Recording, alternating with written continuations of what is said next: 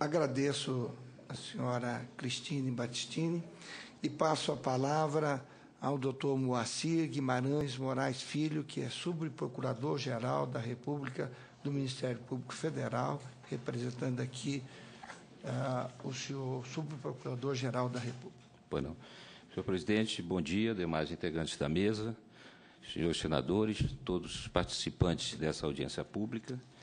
Devemos dizer aqui que agradecemos inicialmente o convite desta comissão para que, em nome da primeira Câmara de Coordenação e Revisão do Ministério Público, a Câmara que está relacionada com a matéria constitucional e infraconstitucional, estivéssemos aqui para dizer o nosso trabalho entendeu, em nível de Brasília, da Procuradoria-Geral, e em nível dos estados eh, e os grupos de trabalho que atuam entendeu, neste tema. A, a Câmara Constitucional realmente primeiro, deu o primeiro passo eh, no Ministério Público com referência a essa questão da saúde pública, de um modo geral não basicamente, vamos dizer, concentrada na, na questão do, do câncer é, neste da, da, da, câncer de medula, mas é, fizemos uma audiência pública com referência a esta lei da dispensação de medicamento e tratamento no que diz respeito às neoplasias malignas. Não estamos aqui com o Ministério Público, é, tomamos partido por nem uma instituição internacional que já comprovadamente viu em outros países a aplicação efetiva e a eficácia científica desse produto, desse fármaco. Não estamos também aqui criticando entendeu, o governo por ter tomado determinadas iniciativas entendeu, de restringir ou então fazer algumas, algumas exigências com referência ao registro. Evidentemente que as legislações dos países não são iguais. Estamos, não vou tecer considerações científicas em torno entendeu, de medicamentos, porque não é da minha especialidade. Mas o Ministério Público tem uma tríplice função. A primeira função é a fiscalização da lei. Existe uma lei se esta lei agora, com referência às neoplasias malignas, é, precisa ser fiscalizada pelo Ministério Público que diz respeito às ações básicas de saúde do SUS, não é?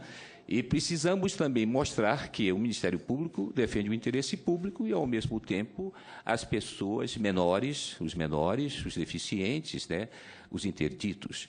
Afora essas três posições do Ministério Público, tem um interesse público evidenciado pela natureza da lide e a condição da parte, quero destacar que a função mais é, proeminente do Ministério Público é esta da substituição processual de uma legitimação que não é uma legitimação ordinária comum, é uma legitimação extraordinária na substituição processual dessas pessoas, evidentemente, que são carentes ou quando não são carentes, mas tem que bater a porta do judiciário, judicializar a questão e exigir que o Poder Judiciário interfira para que o poder público possa conceder esse tratamento e, dispensar o medicamento.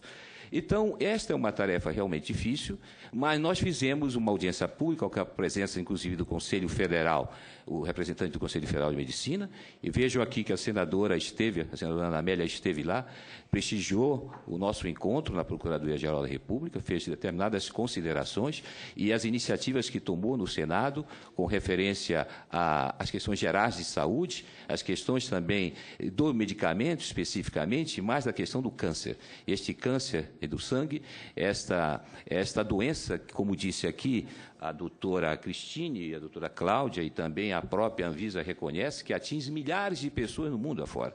Se estamos, vamos dizer, somos os últimos a registrar esse medicamento, ali na Umida, na América Latina, é por conta, talvez, de uma burocracia que talvez não se justifique, vamos dizer. Porque a experiência de placebo, é, que foi colocada como os motivos determinantes da, da impugnação do registro, ou a falta de comprovação de uma efetividade científica do medicamento, ou também do próprio risco, entendeu, que já ofereceria entendeu, a medicação, mas ficou comprovado, por outro lado, que ela prolonga a vida das pessoas.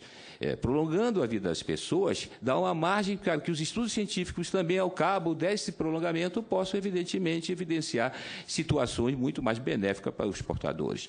Nossa preocupação é exatamente esta: eliminar burocracias eliminar, evidentemente, exigências e formalidades que não se justificam diante de uma emergência, diante de uma necessidade premente.